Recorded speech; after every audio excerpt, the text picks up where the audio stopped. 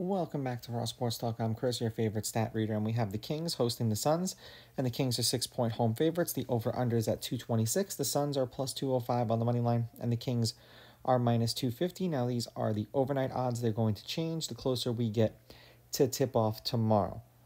Lineups for this game are supposed to be, let's see if we can find it.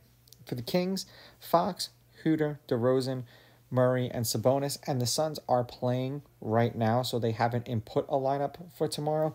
They're in the fourth quarter. They're up by 13 on the Jazz, so we're going to roll with who they started today.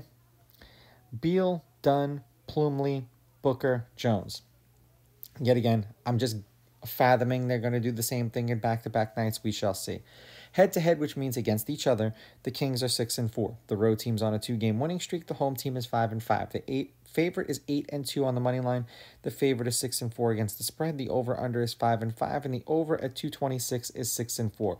We saw this very same matchup the other night, and I'm pretty sure KD played in the game in which the Kings won in overtime, one twenty-seven, one eighteen.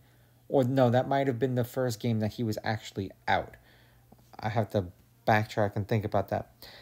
The Suns, not including the game that they're playing right now, are 8 and 2 in their last 10 games, and they are 3 and 7 against the spread. So they're winning, they're not covering. 234, 227, 227, 245. Yet again, not including the game they're playing right now against the Jazz because there's pretty much half a quarter to go. Two point win, didn't cover. Three point win, didn't cover. One point win, they did cover because they were underdogs. And then a nine point loss. Obviously, they didn't cover, they were favorites.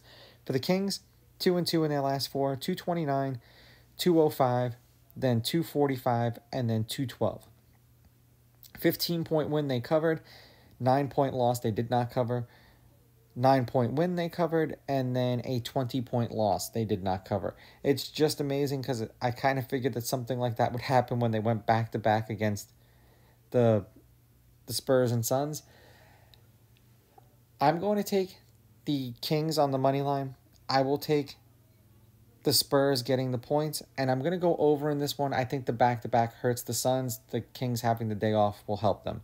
These are just my picks. If you disagree, please go with your gut, and please bet responsibly.